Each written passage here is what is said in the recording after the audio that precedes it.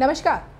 देश के प्रधानमंत्री अगर किसी ज़िले के दौरे पर जाते हैं तो हफ्तों पहले से ही पुलिस प्रशासन चौकन्ना हो जाता है और तैयारियाँ शुरू कर देता है।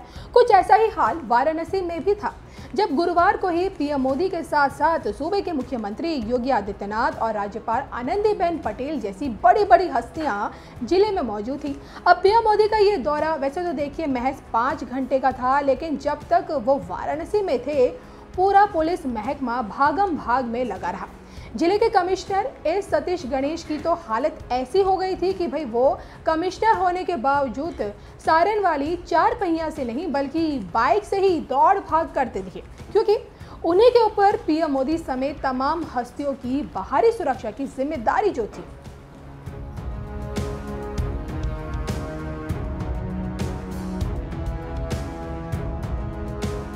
तो ज़िले में दर्जनों वीवीआईपी एक साथ मौजूद थे और ऐसे में पुलिस कमिश्नर सतीश गणेश के लिए भी उनकी सुरक्षा की ज़िम्मेदारी संभालना किसी चुनौती से कम नहीं था। तेज तरार आईपीएस अफसर सतीश गणेश ने इस ज़िम्मेदारी को बखूबी अंजाम दिया। इस दौरान एक वक्त ऐसा भी आया जब सीपी सतीश गणेश को फैंटम दस्ते की बाइक पर ही सवार होकर रुद्राक्ष कन्वेंशन सेंटर पहुँचना पड़ा। दरअसल वाराणसी पहुँचे पीएम मोदी का हेलीकॉप्टर। सबसे पहले बीएचयू परिसर के हेलीपैड पर उतरा, जहाँ उन्होंने एक कार्यक्रम को संबोधित किया और फिर वहाँ से पीएम मोदी का हेलीकॉप्टर संपूर्णानंद संस्कृत विश्वविद्यालय परिसर में बने हेलीपैड के लिए रवाना हुआ, जहाँ से कार पर सवार होकर पीएम मोदी को रुद्राक्ष कन्वेंशन सेंटर का उद्घाटन करने के लिए जाना था। यानी कमिश्नर सतीश गणेश के पास ज़्यादा समय नहीं था।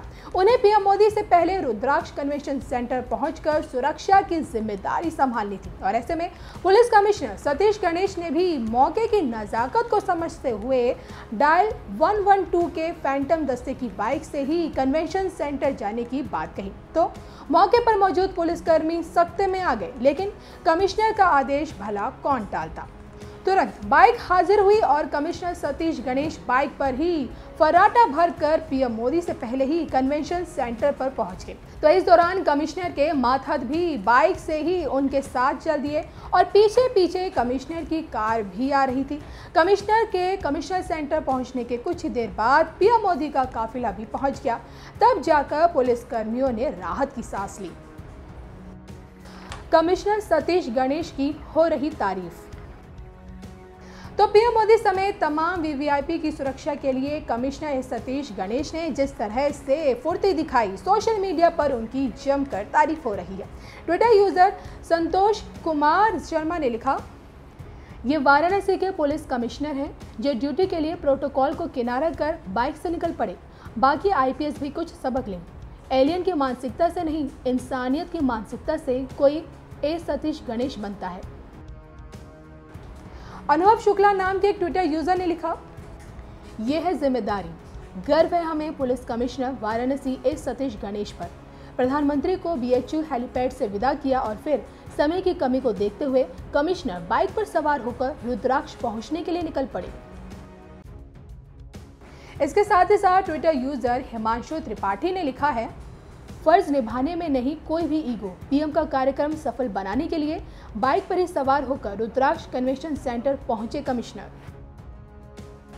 Twitter user Ashutosh Pathak लिखते हैं 30 सेकंड के वीडियो को बहुत ध्यान से देखना चाहिए संपूर्ण भारतवासियों को।